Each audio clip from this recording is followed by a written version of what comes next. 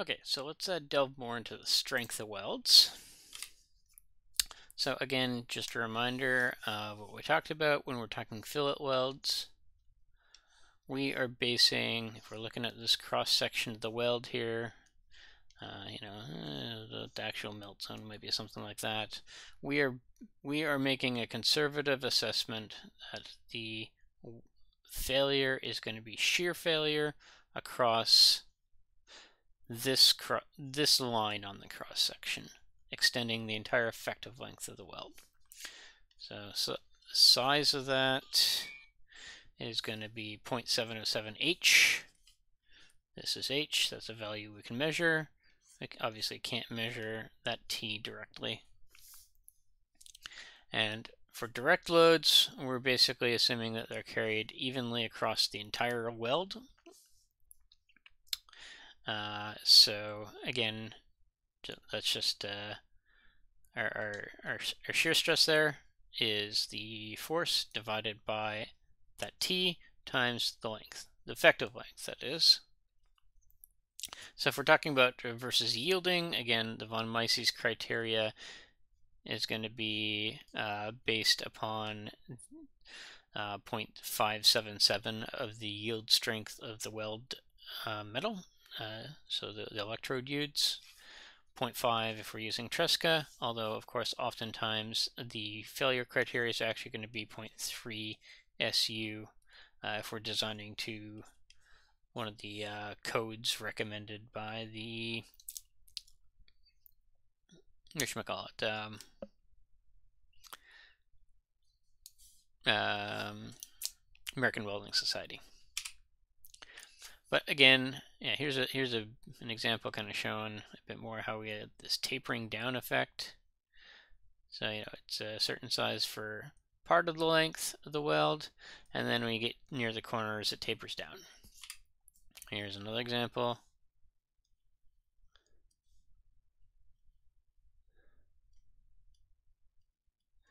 Like that. So basically, we're assuming that we got full strength over this, you know, ah, come on, I don't, didn't want to move that. Full strength from, for this, this section here, no strength there.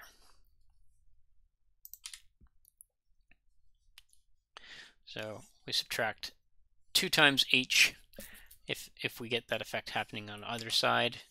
If we have a return to weld where it kind of curves around a little bit, then we're basically, uh, if, you know, if it curves around a little bit on one side, we only subtract the 1h. If it does that on both sides, obviously, we do it on, we, we, we just uh, have LE is equal to L.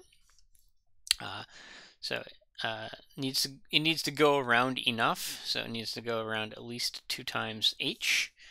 It not more than four times h. If we start getting four times h, then we really should be considering the length of the weld, including around the corner, and then just uh, subtract the uh, subtract the h on that end.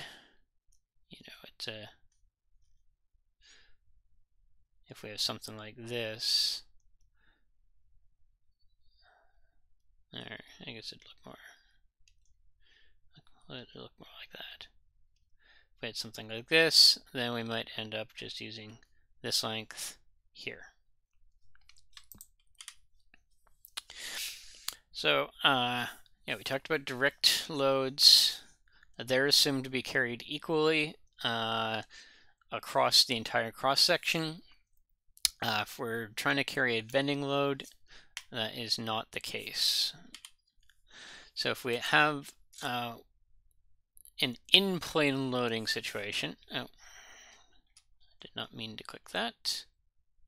If we have an in-plane loading situation where the load that is applied is offset from offset from the centroid of the weld, uh, but it's still in the same plane as the weld, uh, then we, basically this causes a twisting action which causes torsional stress.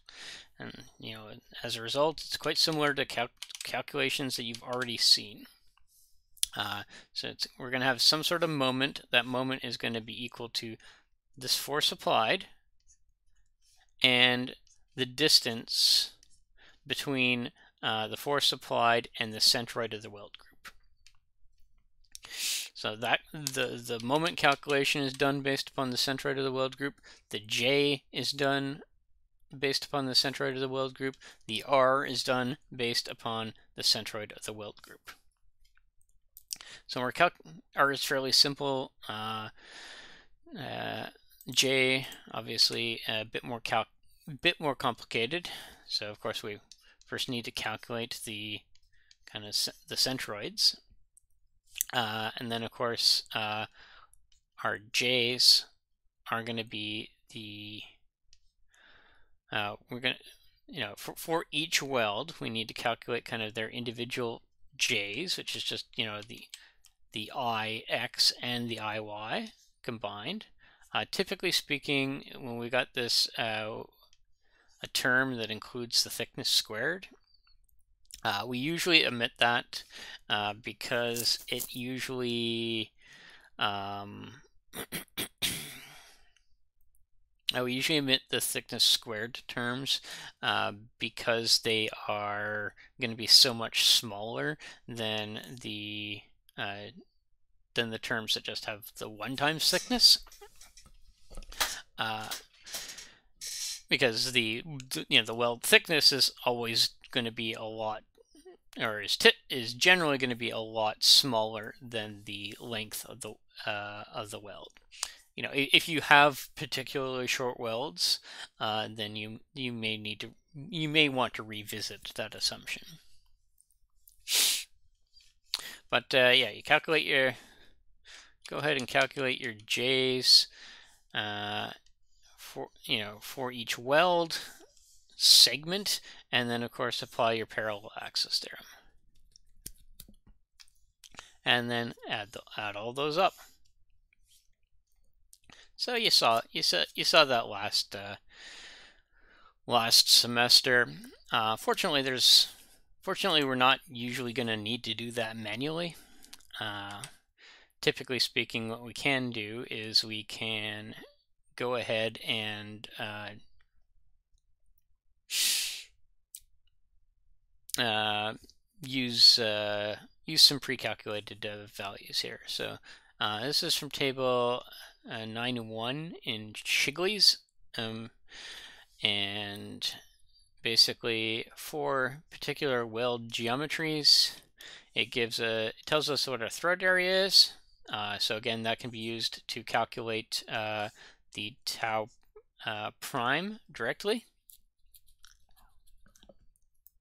Also gives us the location of the centroids of the weld. And it gives us what we call the unit second uh, polar moment of area.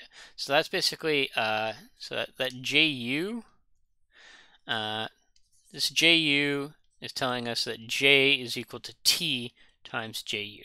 So you need to take these values and multiply them by T in order to get our, uh, our J's. So you can multiply it by, you know, put T directly or, you know, 0.707 H JU gives us our J. And those are just kind of based upon the configuration of the of, of the welds that you have. Keeping in mind that again, yeah, when you're doing these measurements, you, you kind of need, you know, you need, you may need to lop off a bit of the size that you have based upon uh, the, if you don't have the effective length, uh, if you don't have returned welds or or welds all around, then uh, you may need to adjust the geometry uh, for that. So uh, essentially what we are going to want to do is we want to be able to combine these stresses. But they're, you know, they're acting in different vectors here, right? So uh, the direct component, the tau prime, obviously acts directly in the direction of the force that's applied. Uh, the tau double prime, however, that's acting in a vector that is perpendicular from the vector between the centroid of the weld group to the point we're looking at. So if we're looking at this point here, that's acting in this, uh, that's acting in this direction here. If we were looking here, that would be acting in this direction here. And you want to be able to combine those together. Typically, you want to be able to combine, you know, figure out which spot they're going to be the worst and uh, add those together. You know, we're, we're, we're typically speaking not going to be worried about this bottom left corner or the top left corner because the vertical component of the stresses that are induced at those points cancel out uh, some of the vertical component of the stresses induced by the direct uh, load. So anyways, uh, we can calculate those based upon these formulas here, just by, instead of subbing in R, we sub in basically these, uh, uh, you know, the distances in the uh, distances in the x and y directions from the centroid. And if you're wondering about why the, you know, I've got the y bar here on this top one, I got the y bar here and that top one, that's because, again, that, you know, when we take, um, when you, uh, that's because of the difference between, uh, uh, kind of the directionality that you that you get when you take cross products using different vectors. So again, this this moment here, this moment here, that's a moment. I guess I to define our axes. So we got x, got y in this direction, got z coming out here. So the moment is a moment about the z-axis. So what we're doing here is we're taking the cross product of a uh, a z-axis. Sorry, we're taking we're taking the cross product of uh, this moment that's about the z-axis with the cross product of uh, sorry, taking the taking the moment about the z-axis, taking the cross product here of its of uh, something in the y direction or something in the x direction. So, you know, basically the, the way the math works out is that those kind of, you know, those would switch the signs. Uh, so we need to basically kind of switch the signs in our, in our, in our formulas here. So for example, in, at this point here, uh, at the top right corner, uh, we have, uh, you know, the x component of that. So here with the the moment that we have the moment that we have is a clockwise moment so that's going to be a negative moment we multiply that times this y bar uh, sorry times the y bar value minus the y bar so the sorry my, y bar value minus the y so here the y is larger than the y bar, so that's going to be a negative as well. Take those two uh, take those two negative values, multiply them together, and we get a positive x direction of the uh, st uh, shear stress induced there. So, and then of course the y component uh, is based, you know, the, the m the m's here still remains negative times the x minus x bar. So in that case, that would be positive. And negative times positive means that we're causing stresses that go downwards. Generally speaking, that, that all that having been said, I generally find it's usually easiest just to uh,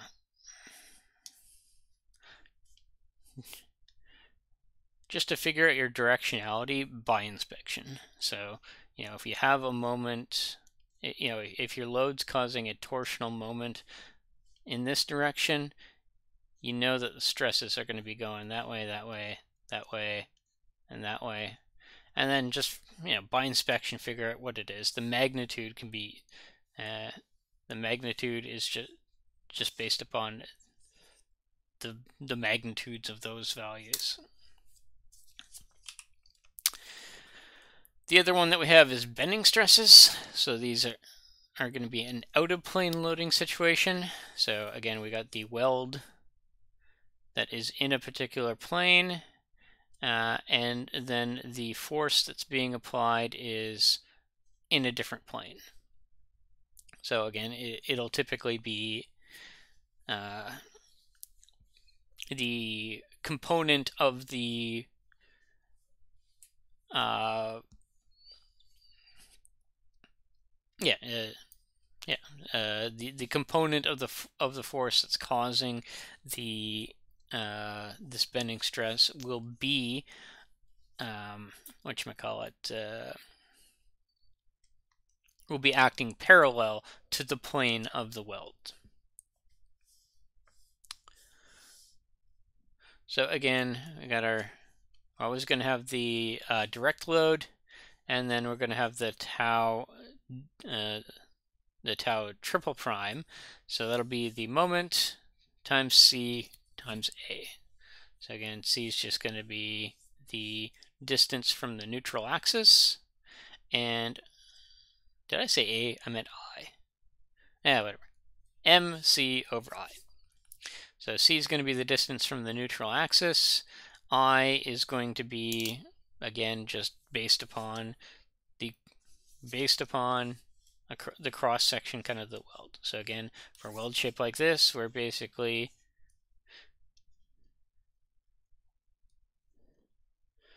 we're basically calculating the I for for a cross section that looks like this. So again, a lot of those are already calculated for us. Uh, we don't need to worry too much about that.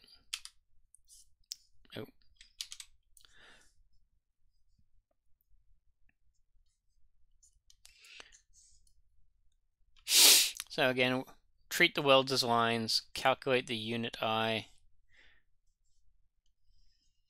We're given the geometries, and then take, find your I by multiplying it by T. So here's a few geometries that we have. Uh, Again, we're given the throat area, we're given the location of the centroid, we're given the unit second moment of area. So we take those, those IUs and multiply it by t to get our, uh, our eyes. Here's a few other geometries. Uh, so that is also in Shigley's. I think that's table uh, 9.2. I didn't uh, I forgot to include it. Uh, I didn't include that at the top, but I, am pretty sure it's 9.2. It's it's fairly fairly shortly after the uh, the torsional one. So then, uh, oh, um, one other thing. Uh, so again, if we have, if we say, if we're looking at this thing like this, then essentially in order to resist that bending moment, we're going to have to be applying, uh, if, if, if we're applying, if we're applying a load like this is causing bending moment, then basically you're going to have compressive forces induced at the bottom, and you're going to have tensile tensile forces at the top we are not worried about the compressive forces. The compressive forces just mean that the thing that is welded to the, uh, you know, that, that is welded on is pressing directly into the, uh, uh, kind of the, the parent body there. Uh, so, so the weld doesn't need to hold that. The weld is perfectly, you know, the, the weld is there to hold the two components together when something is trying to separate them. It's not, you know, if it, if they're just pressing together, it's not it doesn't have a job to do. If they're being pulled apart, it has a job to do.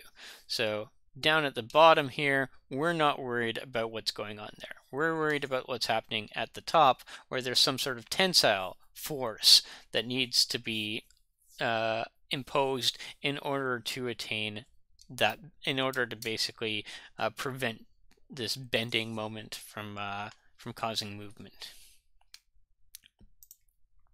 But anyways, uh, so uh, depending upon the loading situation, you may get stresses. You know, you kind of may get X, Y, and Z components of the stresses. So just add them all together. Uh, break everything up, then add them all together using Pythagoras' theorem, and this will give you your total stress, your total shear stress uh, for the weld in general. So again, uh, a typical failure criteria that you want to be worrying about is uh, for fillet welds is that that stress there cannot be higher than 0.3 SU. That having been said, uh, that would be for a static load.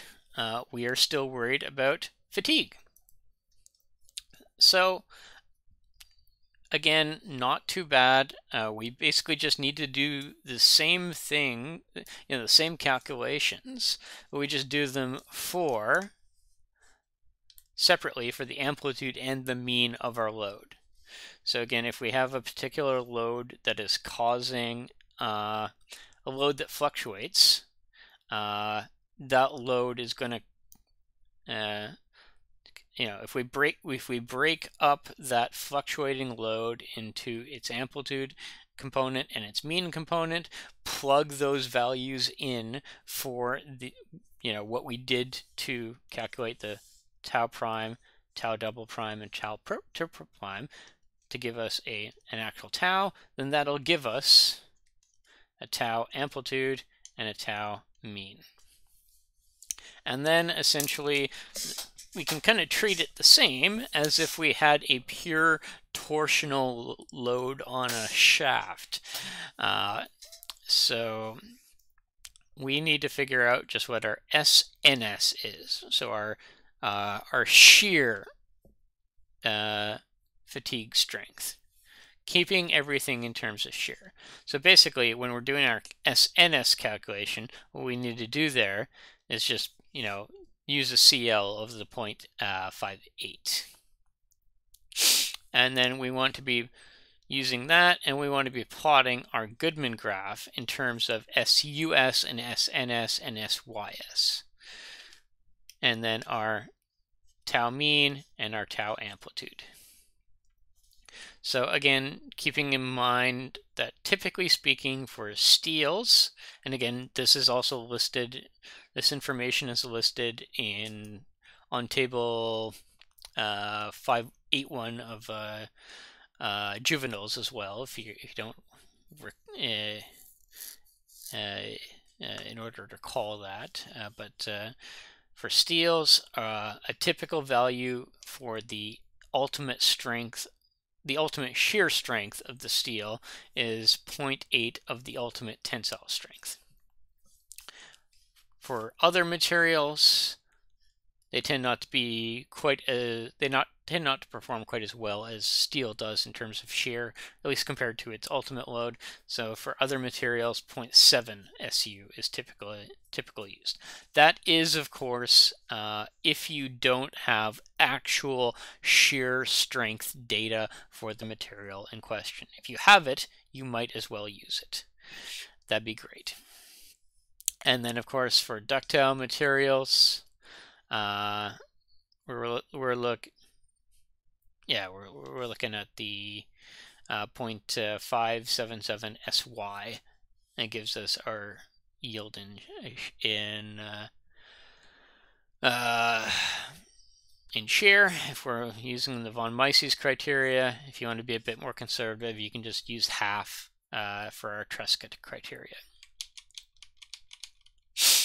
And then essentially what we do is we just take our uh, amp, you know, the stresses we calculate, the mean and the amplitude, and plug those into these two equations, because again, uh,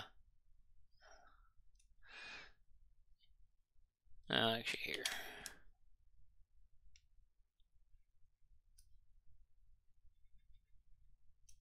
So we're going to have SY, SY, going to have an SN, sorry, SYS, SYS. I didn't want to move that. I wanted to draw another thing. SNS, SUS. So again, this formula here corresponds to hitting uh, the SNS SUS line first. So if our loading line looks like this, then this, this will give us a lower value.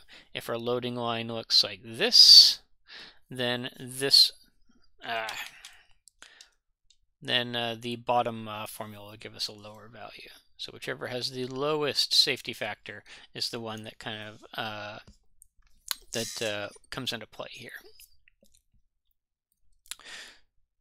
As for the KFs, these are the stress concentrations that we're going to be using. So, uh, based upon uh, kind of uh, the, the configuration of the weld. Uh, so if the if we have loading that is parallel to the uh, to the fillet weld, uh, then we use KF of uh, 7.2 sorry, 2.7. If we have transverse loading, so where the uh, loading is perpendicular to the fillet weld, we're looking at 1.5. Uh, if we have a sharp cornered T-weld with a tensile load, uh, it's a bit higher, uh, 2.0. That's basically kind of that's basically kind of just how uh, taking into account more so the interactions because we're going to get kind of a sharper stress flow for, you know, if we're holding this down and pulling up, we're going to get a sharper stress flow in the corners than if say there, than if say it was a, you know, a fatter, uh, a fatter uh, kind of uh, weld juncture. And then if we're looking at butt welds without the reinforcement ground flat, uh, 1.2 is a reasonable value to use. If you do grind the reinforcements flat, so basically if you if you, if you grind this thing flat, 1.0. If, if you restore it to the original geometry, like, uh, sorry, not, not the original geometry, if you transform the weld into, uh, you know, a flat surface, uh, then then basically you're you're eliminating the stress concentrations that would have otherwise occurred. So we're we're not worried about that. So yeah, that is that, and we will do some examples uh, shortly. Not too complicated. It's uh, uh yeah.